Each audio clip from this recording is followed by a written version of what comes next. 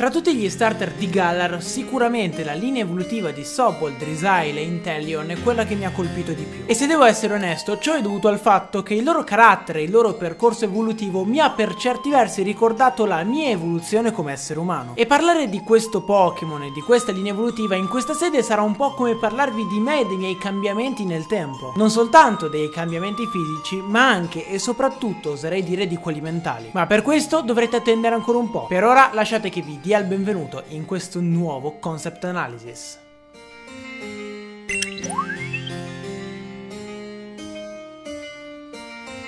Come di consueto, quando si tratta di linee evolutive, direi di partire dalla forma base, in questo caso ovviamente da Sobol. Lo starter di tipo acqua di Galar ha due armi principali, ma entrambe si connotano in un senso difensivo. In un caso il Pokémon a contatto con l'acqua è in grado di cambiare il colore della propria pelle, mimetizzandosi con l'ambiente circostante e di conseguenza sparendo dalla vista di chi gli è attorno. Questa tattica è usata da Sobol in contesti in cui il Pokémon si trova nervoso o si sente in imbarazzo, se cernendo dal suo corpo acqua come fosse sudore e andando così a rendersi invisibile agli occhi esterni. La seconda strategia che il Pokémon attua è quella di scoppiare in un pianto fragoroso che contagerà il proprio nemico che non potrà fare a meno di unirsi al Pokémon acquacertola. Tale reazione in risposta alle lacrime di Sobol non è però una reazione emotiva come di base accade a noi esseri umani, ma chimica. La sua causa è analoga a quella che produce il taglio di una cipolla che tutti noi ben conosciamo diciamo, ma con una potenza addirittura centuplicata, producendo una sostanza che a contatto con gli occhi li irrita a tal punto da produrne la lacrimazione. Come forse avrete notato o come forse avrete già pensato, questo quadro che abbiamo dato di Sobol va a fornirci una visione molto particolare del Pokémon, perché non lo getta in un classico contesto di lotte Pokémon, ma piuttosto in delle situazioni molto comuni e che anche noi esseri umani nel nostro mondo viviamo quotidianamente. Spesso si dice o si sente dire in situazioni situazioni imbarazzanti di voler scomparire, di volersi sotterrare. Spesso si vorrebbe essere altrove rispetto al luogo che causa determinate sensazioni negative. E questo accade in particolare con la sensazione dell'imbarazzo, quando ci sentiamo giudicati da persone esterne a noi, anche in maniera tutto sommato irrazionale, se vogliamo essere onesti. E a tal proposito, un'altra delle reazioni più classiche all'imbarazzo e al nervosismo è quella di sudare copiosamente. E dunque in Soboli due effetti, uno prettamente fisico, ossia la sudorazione, e uno più mentale, ossia il desiderio di scomparire, si riuniscono con il primo che soddisfa il desiderio del secondo. E infine anche il reagire piangendo di fronte a un pericolo è una risposta al pericolo stesso. Piangere fragorosamente di fronte a una minaccia significa invocare l'aiuto di una persona esterna, rappresenta una sorta di incapacità individuale a sostenere un determinato tipo di situazione. Pensate molto banalmente ad un neonato che piange quando ha fame, cercando di richiamare l'attenzione in questo modo di chi ha il dovere di nutrirlo. Tutte queste caratteristiche sono da porre in relazione con quello che è il carattere generale del Pokémon, che ci è presentato come una creatura molto timida e molto timorosa, una creatura che è messa in soggezione da qualsiasi cosa accada attorno a lei. Si pensi per esempio alla bacca che Grookey lascia cadere di fianco a Sobol all'interno della cutscene che precede in Pokémon Spada e Pokémon Scudo la scelta degli starter. Ora questo carattere con Drisail inizia a mutare e muta nella direzione direzione in cui solitamente muta il carattere di una persona tipicamente naturalmente timida e timorosa. Sobol, crescendo, deve necessariamente rapportarsi al mondo esterno. E nel mondo Pokémon, come del resto nel nostro, ciò vuol dire dover affrontare delle lotte, siano esse lotte per il nutrimento o per il sostentamento negli stadi di Galar. Drisail fa questo alla perfezione, sfruttando quelle abilità che precedentemente Sobol aveva usato ad uso esclusivamente difensivo per scappare dall'esterno. Ora Drisail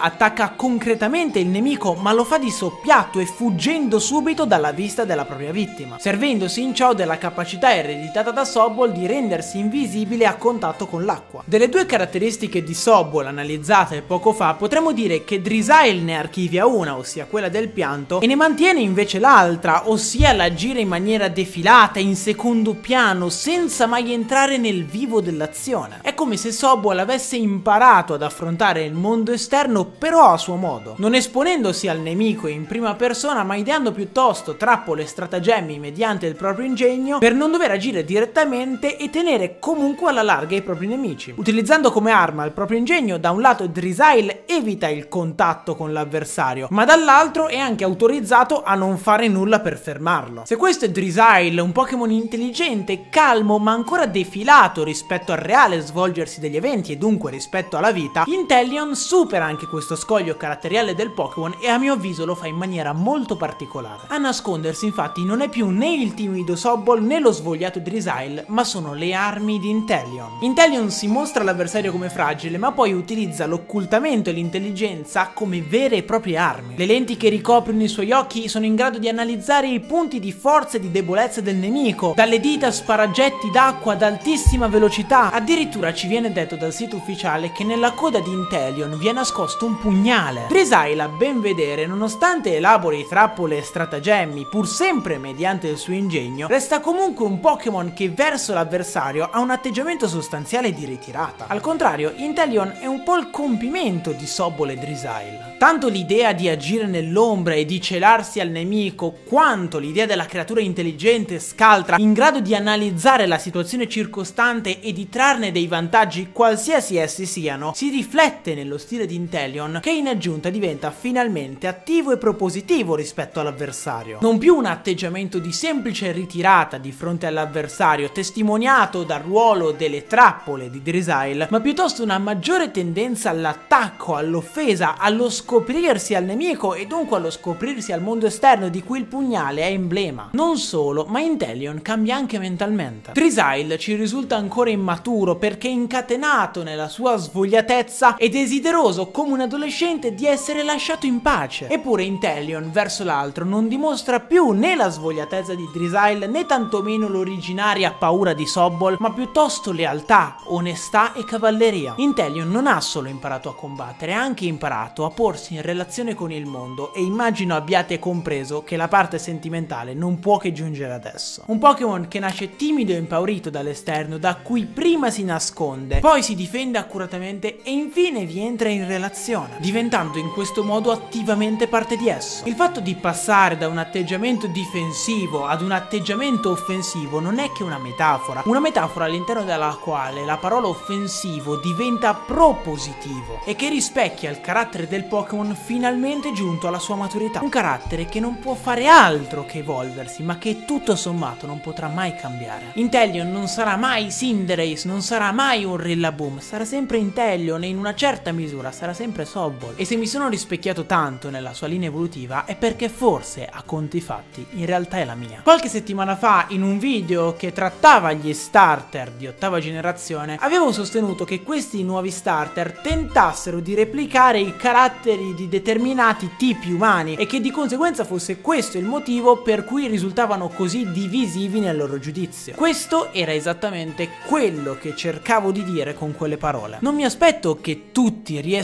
ad apprezzare Intellion, perché Intellion mira a colpire i cuori di determinati uomini. E arrivati a questo punto del video non vorrei cadere troppo nel sentimentale perché cerco sempre di essere oggettivo, ma io anni fa ero Sobol. Ogni situazione mi appariva imbarazzante, ogni discussione mi gettava nel panico, desideravo solamente non avere gli occhi puntati addosso, desideravo solamente scomparire e ritirarmi nella mia cameretta. E con il tempo ho imparato a difendermi, ad accettare gli occhi degli altri puntati su di me, ma soprattutto ho imparato ad affrontare la vita. Certo l'ho fatto a mio modo, certo l'ho fatto con le mie imperfezioni, certo l'ho fatto con le mie caratteristiche, ma se non ci fossero non sarei io. Il mio carattere si è evoluto e così doveva essere perché possiamo credere di fuggire dal mondo esterno, ma la realtà è che ne siamo infetti da dentro e allora forse è proprio nel nostro modo di porci in relazione con il mondo che ci circonda che ci evolviamo e che cambiamo. Ogni Pokémon si evolve perché entra in relazione con qualcosa di esterno, sia esso un nemico, sia esso una pietra, sia esso una qualsiasi situazione ambientale o un qualsiasi percorso di vita. È anche stupido parlare di Pokémon perché è una cosa talmente ovvia che molto spesso nemmeno ci pensiamo. Anche gli animali nel corso delle ere si evolvono perché determinate condizioni ambientali richiedono un loro adattamento e le condizioni ambientali sono esterne agli animali, fosse per loro gli animali resterebbero sempre quello che sono, ma ciò non accade. E se le armi di Intellion sono i getti d'acqua, i pugnali e le lenti, la mia arma è stata YouTube. In questo questo momento sto parlando di fronte a una quantità di persone che potrebbero riempire il teatro della Scala, ma davanti a me ho una telecamera, delle luci e una cucina da pulire. In questo momento io sto interagendo con il mondo esterno, ma mi sto allo stesso tempo occultando dai vostri sguardi. E non credo che ad oggi rimarreste soddisfatti se dovessi fare un concept analysis, che so, al teatro della Scala. Sarebbe troppo per me, un passo per cui forse ho ancora bisogno di tempo e di maturazione, ma tutto sommato qualcosa che desidero. Perché sì, io vi ho detto che quella di Sobol è la mia linea evolutiva, ma non vi ho detto dove mi trovo in questa linea evolutiva. Ed io credo in tutta onestà di essere un po' a metà tra quello che è Drisail e quello che è Intellion. Ho imparato ad affacciarmi sulle finestre della realtà, ma molte volte sento ancora il bisogno di chiuderne le persiane. Molte volte sento ancora il bisogno di ritirarmi come Drisail nella mia svogliatezza. E forse, volendo dirla tutta, Intellion in realtà non è nient'altro che una meta ideale come lo sono tutti i personaggi fantastici. Nessuno sarà mai Superman e